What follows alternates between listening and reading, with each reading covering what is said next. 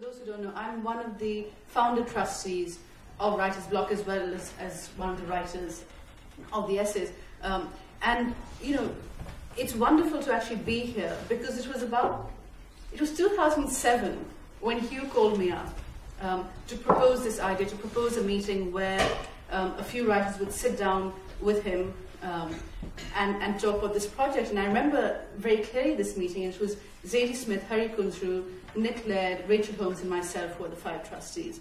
Um, and sitting down with, with Hugh, and, and Hugh basically saying, so we want to give you money to send writers to countries to write about education.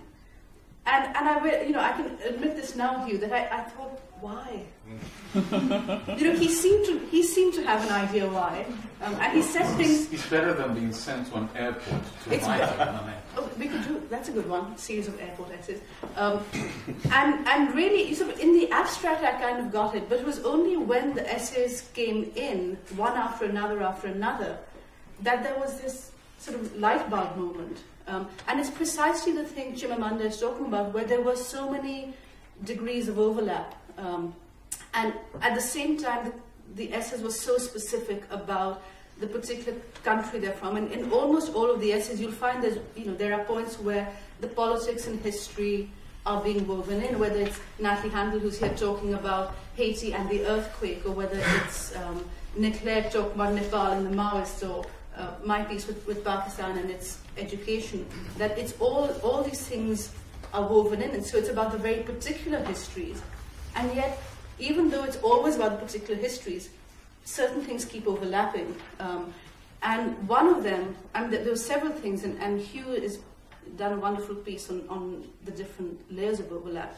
Um, but one of the things that really struck me as I was reading them all together again um, is a tremendous problem, and it's, I think, quite relevant to the UK because unfortunately it's, it's happening more and more here. This divide in education, this gap um, between the kind of education that the well off re receive and the kind of education that other people receive. And one of my favorite moments in all the essays was was when Chimamanda talks about actually the difference in body language. Mm. So, you know, as you said, it's not just about, you know, they're learning from these better textbooks or their teachers have had a better education um, or they're in schools where there's an air conditioner instead of a fan.